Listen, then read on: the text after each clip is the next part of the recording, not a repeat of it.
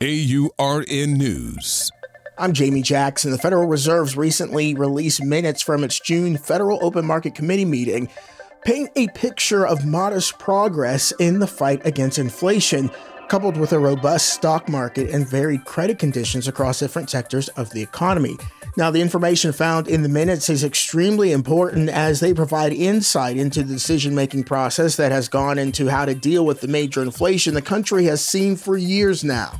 The minutes show that while financial markets have shown some improvement, particularly in equity prices, overall progress in curbing inflation has been limited.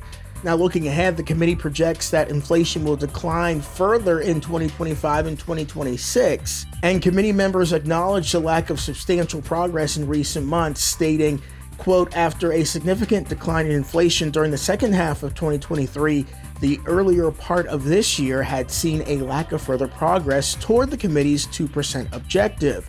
So, the major takeaway from the Fed's notes is that we may need to brace for continued inflation issues through next year and potentially into 2026. For AURN News, I'm Jamie Jackson.